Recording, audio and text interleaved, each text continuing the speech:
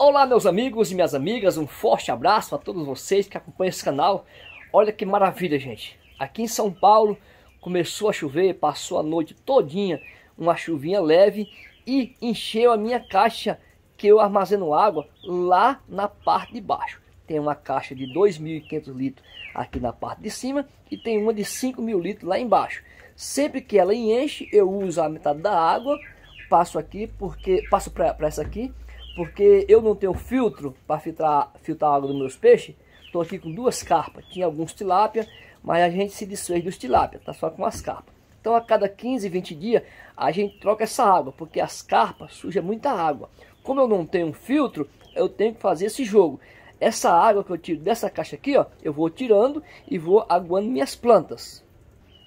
Como eu vim falando, meus amigos, tá um dia bonito, nublado para chuva que eu tenho um pé de amora, olha como ele tá alegre, as folhas se balançando.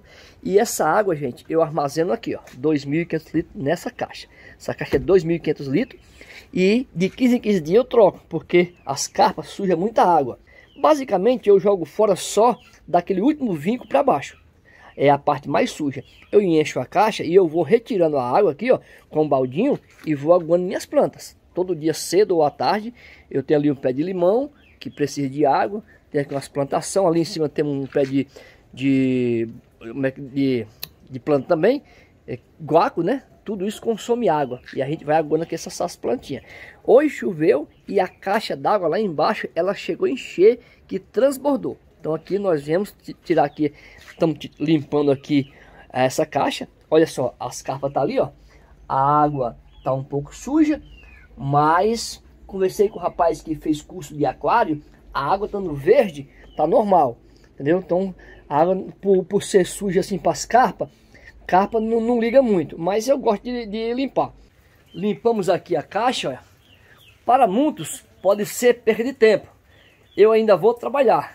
Agora é seis e meia da manhã, eu já tomei café, acordei quatro horas, já editei um vídeo, um vídeo legal, mas eu tenho isso aqui como uma terapia. Eu venho cedinho, cuido das minhas galinhas, que também não dá lucro. Você gasta 200 reais mais ou menos com 6, 7 galinhas por mês, mais ou menos de ração.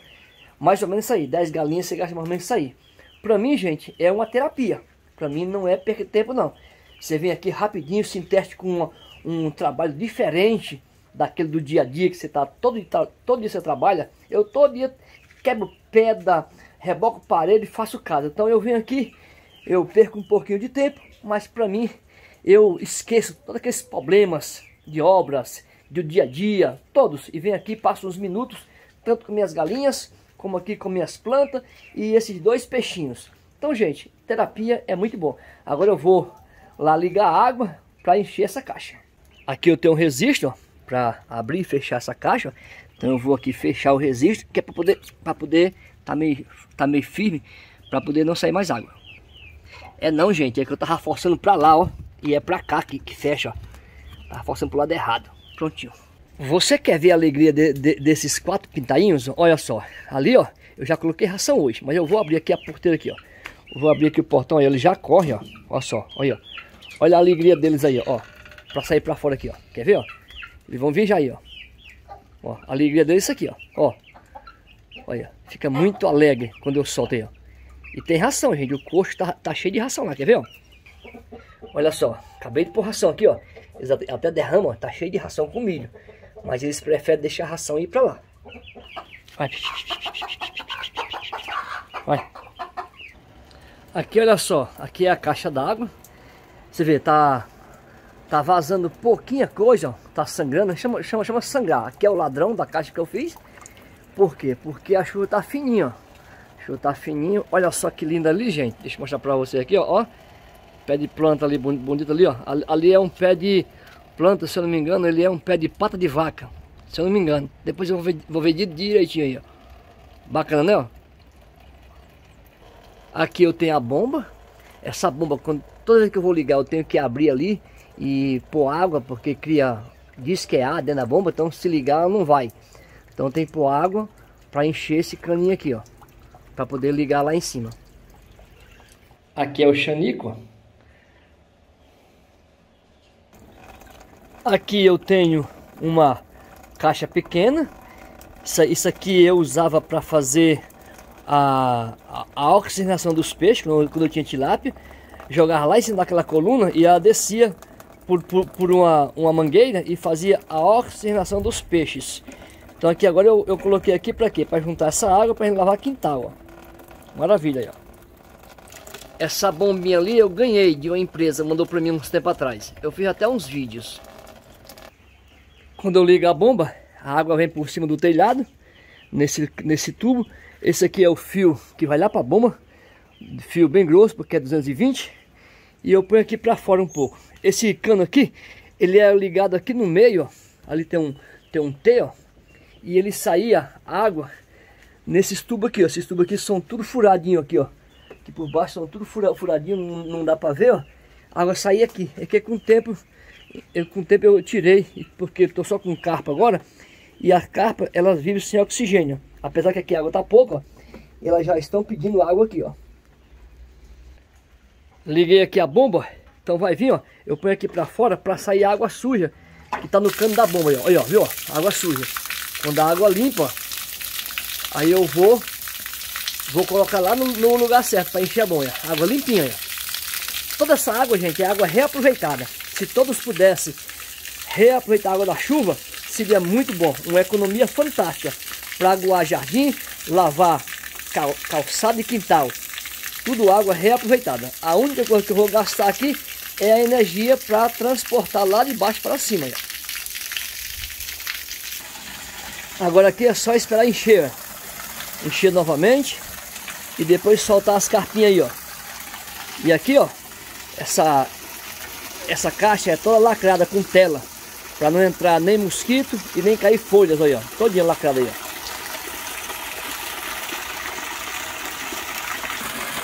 Agora chegou a hora de eu fazer a soltura dessas carpas aqui, ó.